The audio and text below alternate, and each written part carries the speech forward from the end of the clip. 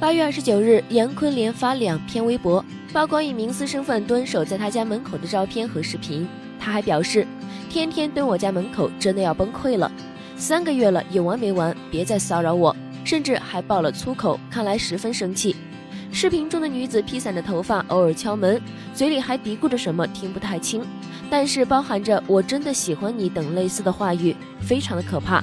她还坐在杨坤家门的地上，眼镜和包扔一地，自己拿着手机在看些什么。网友看到杨坤微博后，纷纷表示担心，留言叮嘱道：“有点恐怖，报警吧。”遇到这样的粉丝也是无奈，坤哥看开些。更有网友喊话私生饭，称别把你的喜欢变成偶像多余的负担，